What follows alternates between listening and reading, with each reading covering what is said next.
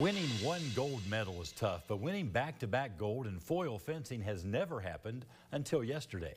And a University of Kentucky student is the one who did it. Lee Kiefer has spent the majority of her life perfecting her sport at the Bluegrass Fencing Club. Dejiana Wilson joins us with more from Kiefer's coach and teammates on the special moment.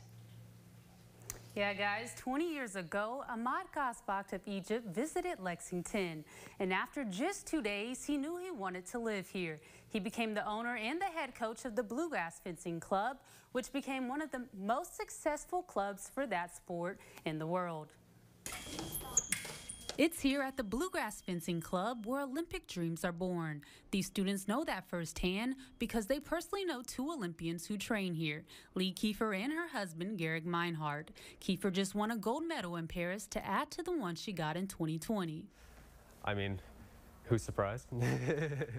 Kiefer grew up in Lexington and has spent more than 20 years at the club with her coach, Amgad Khazbak. He says her accomplishments will forever be remembered. Big Olympics result is, is uh, not, uh, for no one will forget it. Uh, after 100 years, okay, it will be in the history that uh, Lee won two medals in, in the road. More than 20 members of the club family are in Paris supporting Kiefer and her husband for Team USA. Those who stayed behind are just as proud.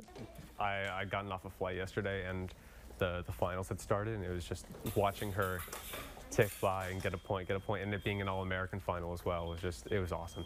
Both Khazbak and those at the club says the moment drives home the point that hard work pays off. I love the community that we built here, uh, training every day, do four hours, five days a week.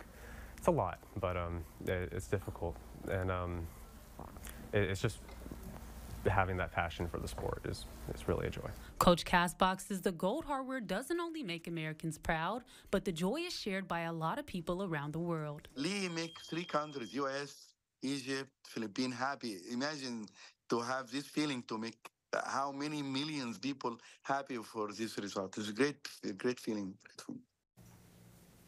Now, this moment did come with sacrifices. Coach Khazbak says he and Kiefer are thankful to the University of Kentucky for allowing her to take a break from med school to enjoy this opportunity of a lifetime.